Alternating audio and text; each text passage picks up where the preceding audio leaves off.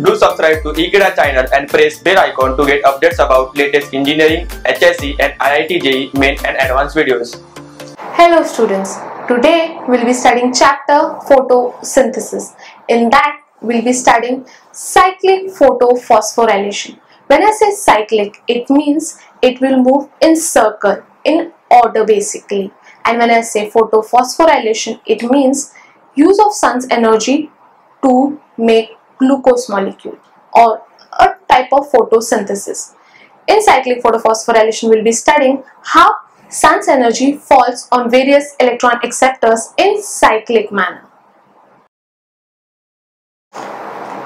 Cyclic photophosphorylation. When I say cyclic photophosphorylation, there is a pigment system involved. Remember photosynthesis equation? Okay, now during cyclic photophosphorylation, there is a reaction center. And this reaction center is present inside grana. The structure of chloroplast.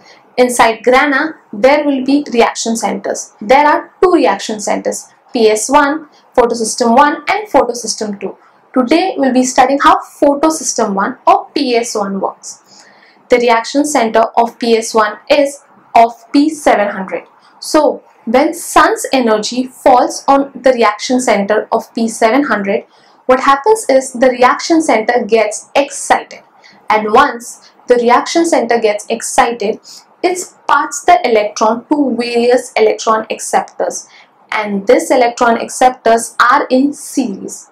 They are basically cyclic and during this process certain ATP molecules are formed which could be used during the dark reaction. The electron acceptors which are present during cyclic photophosphorylation are FRS that is ferredoxin reducing substances, cytochrome B6, cytochrome F, ferredoxin. During cyclic photophosphorylation basically two ATP molecules are generated and this two ATP molecules or you can say adenosine triphosphate molecules are used in the dark reaction or in Calvin cycle or you can say in Blackman reaction. Now how does ATP breaks down? ATP is adenosine triphosphate and when you need energy from ATP you need to take that one phosphate. So the reaction is ATP when it is broken down it forms ADP plus PI.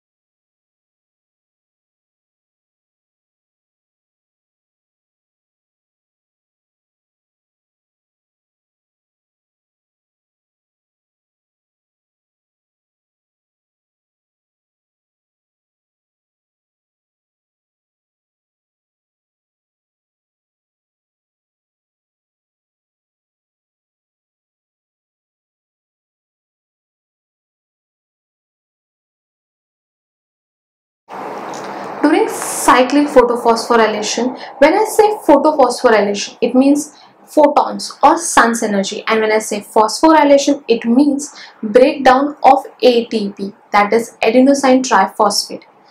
Cyclic photophosphorylation basically uses pigment system 1 or PS1 which has reaction center of P700. So what happens to the reaction center?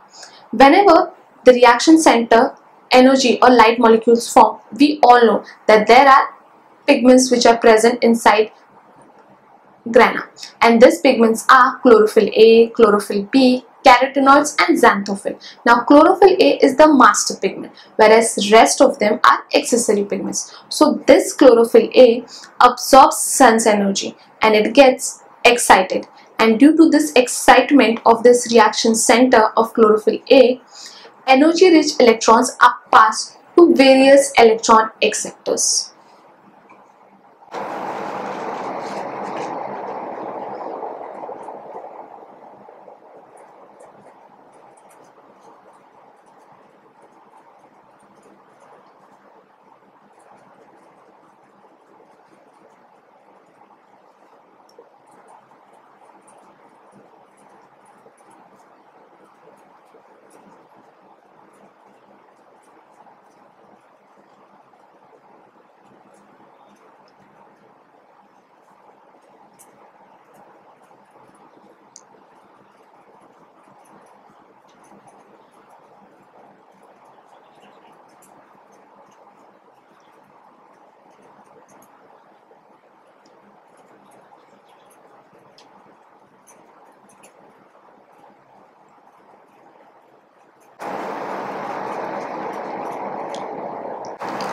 Now during this transfer of electrons or during cyclic photophosphorylation, extra energy is used to bind ADP that is adenosine diphosphate to form ATP that is adenosine triphosphate.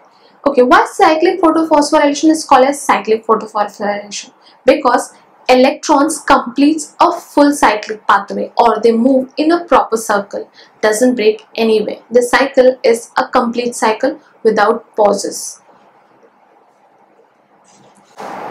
So let us see how electrons move in cyclic photophosphorylation the reaction center which is of P700 absorbs sun's energy in the form of photons. Now when sun's energy falls on the reaction center in the form of photons, the reaction center gets excited and it emits electrons. Now the first electron acceptor is FRS, ferredoxin reducing substance. From FRS the electron is passed to FD that is ferredoxin.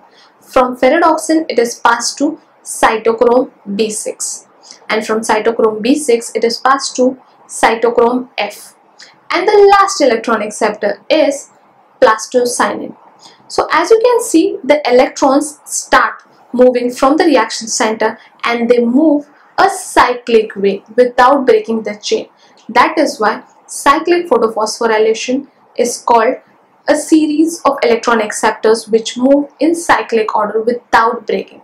Since the electron starts from P700 and gets back to P700. So the electron is returned back to P700.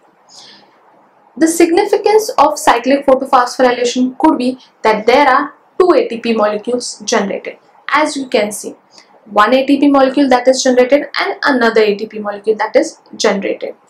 I hope you all are clear with the concept of cyclic photophosphorylation. Thank you.